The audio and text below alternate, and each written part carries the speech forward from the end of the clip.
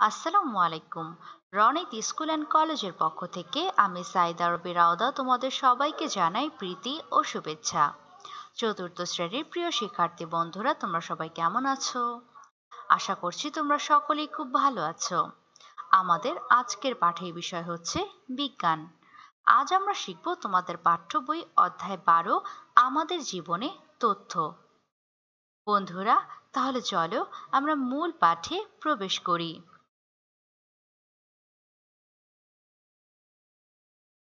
Computer, mobile phone, television, camera. বন্ধুরা, এখানে আমরা কিছু প্রযুক্তি দেখতে পাচ্ছি। আজকের এই পাঠে আমরা তথ্য এবং প্রযুক্তি উভয় সম্পর্কেই জ্ঞান লাভ করব। আমাদের জীবনে তথ্য খুবই গুরুত্বপূর্ণ। তথ্য ব্যবহার করে আমরা জীবনধারায় পরিবর্তন আনি। আমাদের কখন কি করতে হবে তাও ঠিক করতে পারি। তথ্য সৃষ্টি, তথ্য সংগ্রহ, তথ্য বিশ্লেষণ, তথ্য বিনিময়ের জন্য বিভিন্ন যন্ত্রের উদ্ভাবন ও ব্যবহার, এসব কিছু মিলেই তথ্য ও যোগাযোগ প্রযুক্তি। তথ্য ও যোগাযোগ প্রযুক্তিকে সংক্ষেপে আইসিটি বলা হয়। তথ্য ও যোগাযোগ প্রযুক্তি আমাদের জীবনকে সহজ করে। এটি ব্যবসা, শিক্ষা, চিকিৎসা ও কৃষিতেও বিভিন্নভাবে ব্যবহার করা হয়। বিভিন্ন ধরনের তথ্য ও যোগাযোগ প্রযুক্তি রয়েছে যেমন computer, internet, mobile phone, TV, radio, camera ইত্যাদি। নিচের ছবিতে একটি ঘরে বিভিন্ন জিনিস দেখানো হয়েছে। জিনিসগুলো থেকে তথ্য ও যোগাযোগ প্রযুক্তিগুলো খুঁজে বের করি। বন্ধুরা, আমরা প্রথমেই জেনে নিই, আমাদের জীবনে তথ্য হচ্ছে খুবই গুরুত্বপূর্ণ একটি বিষয় এবং এই তথ্য ব্যবহার করে আমরা আমাদের জীবনে বিভিন্ন পরিবর্তন আনতে পারি এবং আমাদের কখন কি করতে হবে তাও আমরা ঠিক করতে পারি এই তথ্যের উপর ভিত্তি করে। এই তথ্য সৃষ্টি, তথ্যকে সংগ্রহ করা, তথ্য বিশ্লেষণ করা এবং তথ্য অন্যের সাথে বিনিময়ের জন্য বিভিন্ন যন্ত্রের উদ্ভাবন এবং ব্যবহার, এই সব কিছু নিয়েই হচ্ছে তথ্য ও যোগাযোগ প্রযুক্তি। তথ্য যোগাযোগ প্রযুক্তিকে সংক্ষেপে বলা হয়ে থাকে আইসিটি। তথ্য আমাদের জীবনকে সহজ করে দিয়েছে। তথ্য, যোগাযোগ প্রযুক্তি, ব্যবসা, শিক্ষা, চিকিৎসা এবং কৃষিতেও ব্যবহার করা হয়। এছাড়াও বিভিন্ন ধরনের তথ্য ও যোগাযোগ প্রযুক্তি রয়েছে। সেগুলো হচ্ছে computer, internet, mobile phone, TV, radio এবং ক্যামেরা। এবং চলো চলো তাহলে আমরা দেখি একটি ছবি যেখানে তথ্য ও যোগাযোগ প্রযুক্তিগুলো আমরা খুঁজে বের করব। বন্ধুরা, তোমরা এখানে একটি ছবি দেখতে পাচ্ছ। এখানে বিভিন্ন ধরনের তথ্য প্রযুক্তির ছবি আমরা দেখতে পাচ্ছি। এখানে বিভিন্ন ধরনের প্রযুক্তি আমরা দেখতে পাচ্ছি। তথ্য ও যোগাযোগ প্রযুক্তি। বন্ধুরা, এবার আমরা আমাদের আজকের পাঠের মূল বিষয় তথ্য ও যোগাযোগ প্রযুক্তির উন্নয়ন সম্পর্কে জানব। তথ্য ও যোগাযোগ প্রযুক্তির উন্নয়ন। প্রথমে লক্ষ্য করো, একটি প্রশ্ন দেওয়া আছে, তথ্য যোগাযোগ প্রযুক্তি কীভাবে উন্নত হয়েছে? এই প্রশ্নটির উপর ভিত্তি করে পাঠ্য বইতে ছকে তোমাদের একটি কাজ দেওয়া আছে। চলো প্রথমেই কাজের মূল বিষয়বস্তু দেখে নিই। কাজের মূল বিষয় হচ্ছে তথ্য ও যোগাযোগ প্রযুক্তির বিকাশ।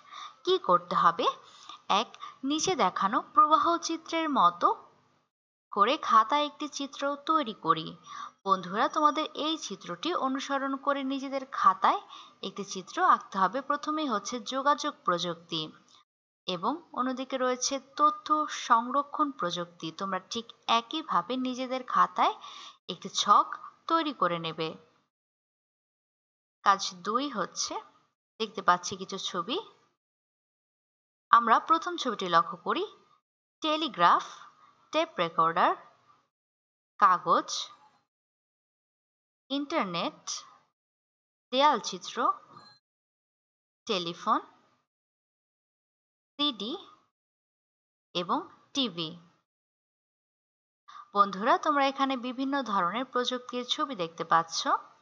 আমাদের দুই নাম্বার কাজটি আমরা দেখে নিই নিচের তথ্য ও যোগাযোগ প্রযুক্তিগুলোকে যোগাযোগ প্রযুক্তি ও তথ্য সংরক্ষণ প্রযুক্তি এই দুই ভাগে ভাগ করি এবং পুরনো থেকে নতুন অনুসারে সাজাই।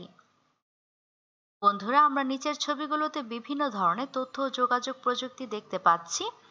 এগুলোকে আমাদের কি করতে হবে? যোগাযোগ প্রযুক্তি এবং তথ্য সংরক্ষণ প্রযুক্তি এই দুই ভাগে এই প্রযুক্তিগুলোকে ভাগ করতে হবে এবং পুরনো থেকে নতুন অনুসারে সাজাতে হবে। অর্থাৎ সবার প্রথমে কোন যোগাযোগ প্রযুক্তিটি এসেছে, অতপর ধাপ অনুযায়ী আমাদের সাজিয়ে লিখতে হবে ছকে। যে ছকটি পূর্বেই আমরা দেখেছি, যে প্রবাহ চিত্রের মতো করে আমরা নিজেদের খাতায় একটি ছক তৈরি করে নিয়েছি। সেই ছকে আমাদের একদিকে যোগাযোগ প্রযুক্তি এবং অন্যদিকে তথ্য সংরক্ষণ প্রযুক্তি লিখতে হবে এবং নতুন থেকে, পুরাতন থেকে নতুন অনুসারে সাজিয়ে লিখতে হবে। প্রথমে আসি যোগাযোগ প্রযুক্তি। এই ছবিগুলোর মধ্যে যোগাযোগ প্রযুক্তির প্রথমে রয়েছে টেলিগ্রাফ। এটি হচ্ছে সবচেয়ে পুরনো যোগাযোগ প্রযুক্তি। টেলিগ্রাফ, অতপর হচ্ছে টেলিফোন, অতপর টিভি এবং সর্বশেষ হচ্ছে ইন্টারনেট। এবার আসি তথ্য সংরক্ষণ প্রযুক্তি। তথ্য সংরক্ষণ প্রযুক্তির যদি সবচেয়ে পুরনো আমরা লিখতে যাই তাহলে আমরা লিখব দেয়াল চিত্র, অতপর কাগজ অতপর টেপ রেকর্ডার এবং সর্বশেষ হচ্ছে সিডি। বন্ধুরা, ঠিক একইভাবে তোমরা তোমাদের নিজেদের ছকে এগুলোকে সাজিয়ে লিখবে। এবার আমরা সারসংক্ষেপটি পড়ে নিই।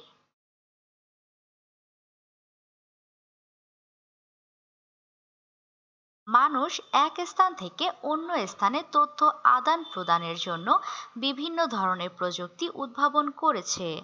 তথ্য ও যোগাযোগ প্রযুক্তিকে প্রধানত দুই ভাগে ভাগ করা যায়। যেমন, যোগাযোগ প্রযুক্তি এবং তথ্য সংরক্ষণ প্রযুক্তি। বন্ধুরা, মানুষ এক স্থান থেকে অন্য স্থানে তথ্য আদান প্রদান করার জন্য বিভিন্ন ধরনের প্রযুক্তি তৈরি করেছে এবং এ তথ্য যোগাযোগ প্রযুক্তিকে দুইটি ভাগে ভাগ করা যায়। একটি হচ্ছে যোগাযোগ প্রযুক্তি এবং অন্যটি হচ্ছে তথ্য সংরক্ষণ প্রযুক্তি। এবার আমরা জানব যোগাযোগ প্রযুক্তির বিকাশ সম্পর্কে। ধোয়ার সংকেত। ঢোল বাজিয়ে যোগাযোগ। চিঠি আদান প্রদানের মাধ্যমে তথ্য বিনিময় এবং বই। বন্ধুরা, তোমরা এখানে যোগাযোগের বিভিন্ন ধরনের মাধ্যম দেখতে পাচ্ছ। প্রথম ছবিটি যদি আমরা লক্ষ্য করি, এটি হচ্ছে ধোয়ার সংকেত। প্রাচীনকালে এভাবে তথ্য আদান প্রদান করা হতো বা যোগাযোগ করা হতো। দ্বিতীয় ছবিটি হচ্ছে, ঢোল বাজিয়ে মানুষ পূর্বে যোগাযোগ করত, অতপর চিঠি আদান প্রদান এর মাধ্যমে মানুষ কি করত? তথ্য বিনিময় করত। এবং চার নম্বর ছবিটি হচ্ছে বই। এই বইয়ের মাধ্যমে মানুষ তথ্য সংগ্রহ করত।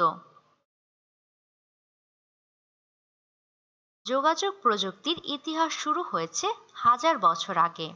তখন ধোয়ার সংকেত পাঠিয়ে ও ঢোল বাজিয়ে মানুষ যোগাযোগ করত। তথ্য যোগাযোগের পরবর্তী ধাপে চিঠিপত্র আদান প্রদান, সংবাদপত্রের প্রচলন, বই ও গবেষণা পত্রিকা ইত্যাদির মাধ্যমে মানুষ তথ্য বিনিময় করত। আধুনিক কালে যোগাযোগের জন্য ব্যারন শিলিং আঠারোশো সালে টেলিগ্রাফ আবিষ্কার করেন। বন্ধুরা, লক্ষ্য করো, এই যোগাযোগ প্রযুক্তির ইতিহাস শুরু হয়েছে আজ থেকে হাজার বছর আগে। পূর্বে কীভাবে যোগাযোগ করা হতো ধোয়ার সংকেত পাঠিয়ে। ধোয়ার সংকেত পাঠিয়ে অথবা ঢোল বাজিয়ে মানুষ যোগাযোগ করত। এবং তার পরবর্তী ধাপে এসেছে চিঠিপত্র এবং বই বা সংবাদপত্র এবং গবেষণা পত্রিকা। এগুলোর মাধ্যমে মানুষ কি করত? তথ্য বিনিময় করত। এবং আধুনিক যোগাযোগের জন্য ব্যারন শিলিং আঠারোশো বত্রিশ সালে আবিষ্কার করেন টেলিগ্রাফ।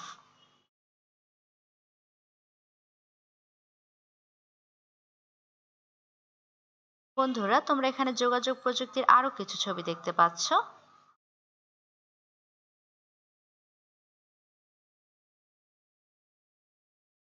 এবার এগুলো সম্পর্কে আমরা বিস্তারিত জেনে নিই। স্যামুয়েল মোর্স নামে একজন বিজ্ঞানী আঠারোশো সালে তারের মধ্য দিয়ে সফলভাবে সংকেত পাঠাতে পারলেন। দূরের মানুষের সাথে কথা বলার জন্য আঠারোশো ছিয়াত্তর সালে আলেকজান্ডার গ্রাহাম বেল টেলিফোন আবিষ্কার করেন।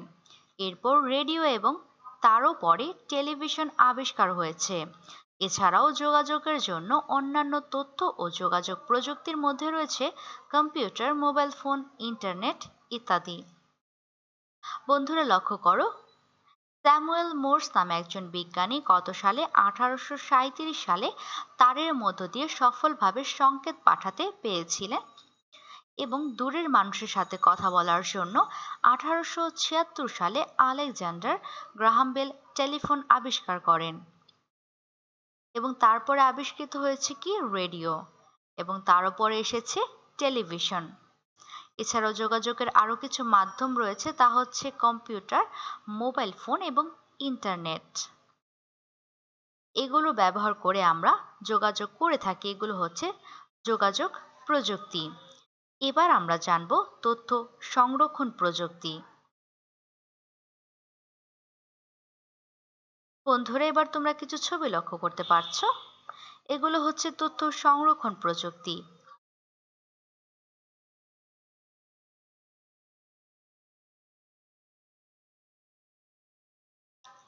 প্রাচীনকালে মানুষ গুহার দেয়ালে ছবি এঁকে বা লিথোগ্রাফের সাহায্যে তথ্য সংরক্ষণ করত। লিখন পদ্ধতি আবিষ্কারের পর মানুষ তথ্য লিখে রাখত। ছাপাখানা আবিষ্কারের ফলে মানুষ অনেক বই, অনেক তথ্য বইতে ছাপিয়ে সংরক্ষণ করতে পারে। বর্তমানে মানুষ তথ্য সংরক্ষণের জন্য camera, tape recorder, video recorder, pen drive CD DVD, memory card ইত্যাদি ব্যবহার করছে। বন্ধুরা লক্ষ্য করো, এবার আমরা জানব তথ্য সংরক্ষণ প্রযুক্তি বিকাশ। প্রথমে বলা হয়েছে, মানুষ কি করত? প্রাচীনকালে গুহার মধ্যে ছবি আঁকত অথবা লিথো, লিথোগ্রাফের সাহায্যে তথ্য সংরক্ষণ করত। অতপর বের হয়েছে লিখন পদ্ধতি। লিখন পদ্ধতি বের হওয়ার পর মানুষ কি করত? মানুষ তথ্য লিখে রাখত।